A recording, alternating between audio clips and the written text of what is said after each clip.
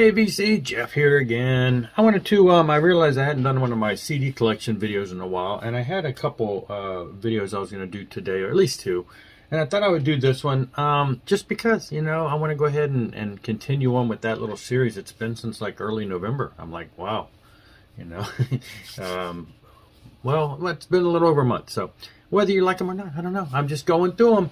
We stopped at B for Blackthorn and so we're picking up there, and I think I'm gonna I'm gonna rush through these. I'm gonna try to get right through the bees. Uh, I think I can do it all in one setting. Um, so Blackthorn was the last one we did. We had done Blackfoot. We did all those all of those uh, bees around there. So we're starting with the Bleed. Now this is it's listed as Rex Carroll and the Bleed, but I guess the band itself was just called the Bleed. Kind of an alt rock uh, Rex Carroll is a, uh, guitar shredder, you know, 80s guitar shredder, phenomenal guitar player. But in this case, he, and he also has some bluesy albums out. In this case, he uh, joins forces with uh, the guy from Love War, the singer, uh, guitarist, musician, you know, all around. And they put out more of an alt rock album in the 90s. And, you know, it, I've ignored this for years. Then it was reissued as Rex Carroll and the Bleed, and even then I ignored it for a while, and then I finally went ahead and bought it, and uh, was really enjoyed it. Really good stuff. Really good stuff.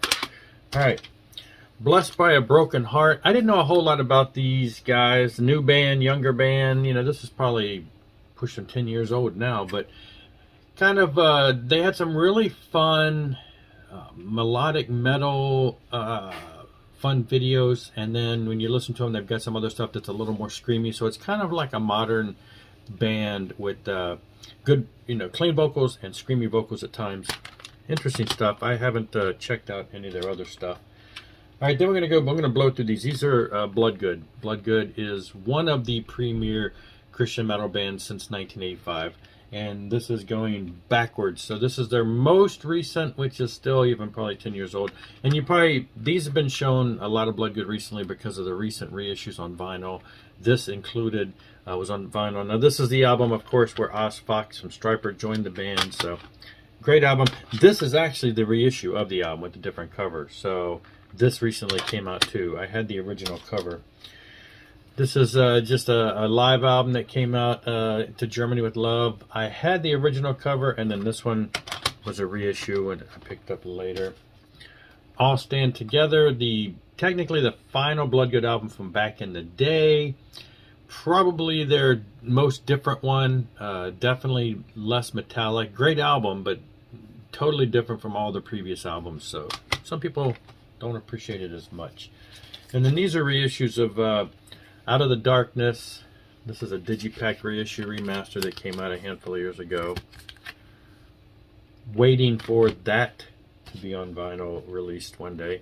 Rock in a Hard Place. Well, I mean, that was on vinyl back in the day, but it's uh, like only available now as like an import and whatever. Um, anyway, Rock in a Hard Place. I have the original vinyl of this. Would be great, I guess, if they're going to hopefully remaster and reissue those like they did the first two. Same with the, uh, you know, Shaking the World. This is a double live CD, part one, part two. Came out as a double VHS tape. Also came out as a single DVD years later. I believe these are also released on vinyl overseas, but very hard to come by. Detonation. This is one of the remasters, reissues that came out. It's got some live tracks on there. I saw them on this tour, 1987 at Cornerstone. This is one of the earlier remaster reissues by the record label. They put changed up the artwork, the original artwork. Oops, case is broken. Original artwork was inside. Anyway, had a bonus disc of live stuff, and anyway, it was pretty pretty good for the time, and then they reissued it after that. And then we got the actual reissue of the first album that just recently came out on CD and vinyl. The other reissue of it back when the record label released it with the alternate cover and the original inside and a bonus disc of live stuff which is really bootleggy. Metal missionaries i showed not too long ago because this recently came out on vinyl and cd this is the original 85 demo. Michael bloodgood released a solo album kind of rocky praisey type stuff at times And I know this is C, but I put it in the blood Bloodgood section because Les Carlsen, this is one of his albums from the 70s. He was big into uh, stage stuff and, you know, uh, you know, stage makes sense because he acts a lot in Blood Bloodgood. Anyway, so this album just recently came out. Oh, what was it? Maybe a year or two ago. Um, it's just a classic reissue of some of his older pre-Bloodgood material. All right. Bo Bice. Uh, Bo Bice was one of the singers on American Idol, and we used to watch American Idol back in the day. And my wife ran across this one day, I think at Walmart, and she thought I might like it. It's kind of a southern rock flair, uh, country feel here, but for the most part, southern rock. It, it, was a really good album. I've enjoyed it. It's been a while since that. I need to pull that out.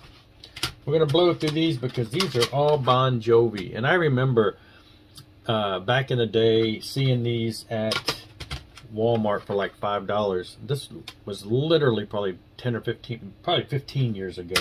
And I ran over there late one night, and uh, and I just grabbed them all. And it's just the main, you know, early releases there. Brian Setzer Orchestra. This is, of course, the one that's got, you know, uh, Cats on a Hot Tin Roof. You know, this is the one where he started really getting big and the whole dance craze came back.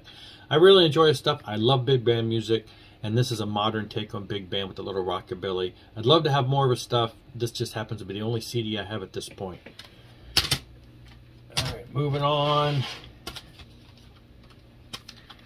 Got the Brave.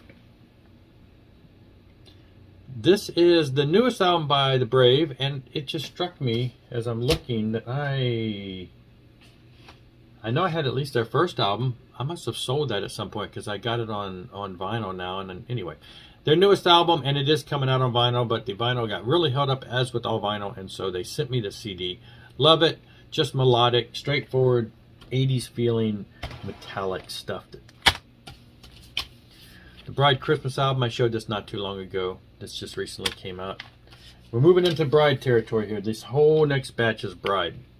Southern Gospel. Uh, it's the brothers from Bride and their father, I believe, uh, doing just old-timey uh, Southern Gospel stuff.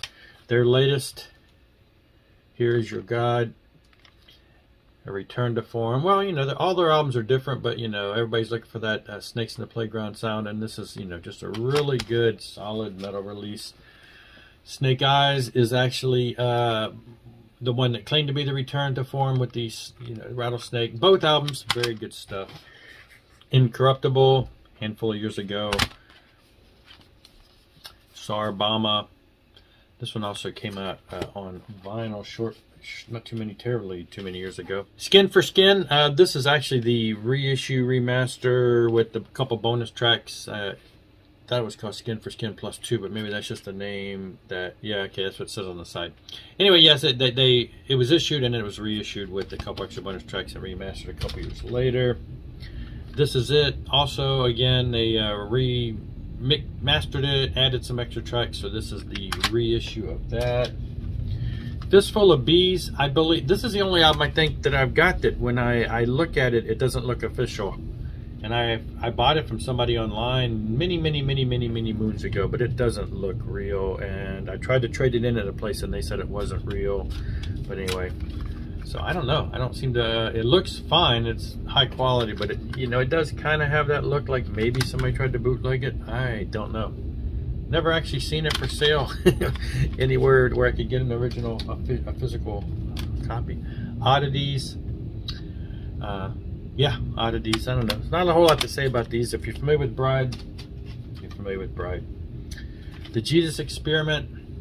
I had the original copy of this back when I bought it that had an interesting picture on the inside of Jesus in an electric chair. It's been banned, and I guess I sold it at some point, so when I rebought it, it doesn't have that, so it's not, not the fancy one anymore. Drop. This is, of course, the reissue. Scott Waters really redid the artwork. It's been remastered. It sounds absolutely marvelous. Scarecrow, Messiah, great album. Hopefully they're going to get around to, you know, maybe remastering this, retweaking this. Love to hear this on vinyl also because we're moving into the vinyl days where they just reissued Kinetic Faith. This is a remaster, beautifully done packaging just like they always have been doing with all of these reissues. And this one was uh, also brought out to us on vinyl. This is the original. I may eventually sell. Uh, Snakes in the Playground. The remaster also came out on vinyl. The original and then over the years, they released, uh, the band actually released some like CDs of, of demo recordings, which uh, I think uh, Troy, the guitar player, I used to communicate with him back in the days a lot, and he had sent me a bunch of cassette tapes back in the days. And a lot of the songs did end up, you know, later becoming on the albums. Maybe they got tweaked with different lyrics, different titles, but a lot of the songs didn't. So you end up with a lot of extra tracks. And uh, he used to send me those, and they were really cool. Well, then the band put them out on CD, and they did three of them. They called uh, Lost Reels 1, 2, and 3. And they did them over a couple year period, and each one is, you know, a different era of the band. Well, then those were later picked up, remastered, and reissued by Retroactive as Lost Reels 1, 2, and 3. Very nice package deal to have them. They're all digipacks, but it's really nice to have them all.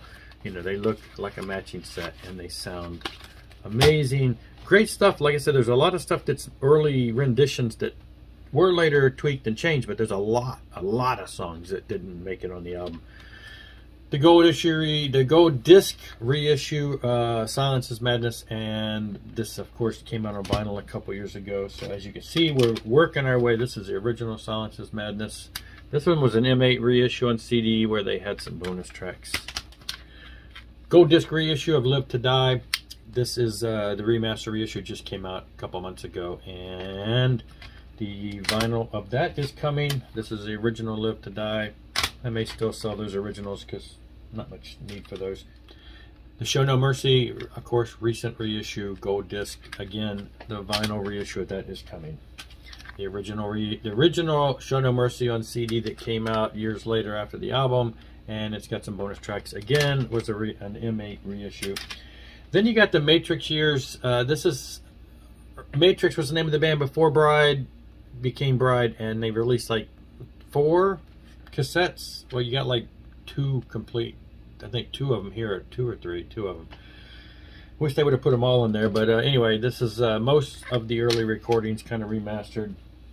And then the last one, which is not Bride, is Broken Silence. Uh, I want to say this is this is. I just love this album. I had the original album that was released by the band. It only had like I don't know six songs, and then this was reissued uh, retroactive where it's got like a whole album's worth of material. But they're, I think, I believe they're from Hawaii.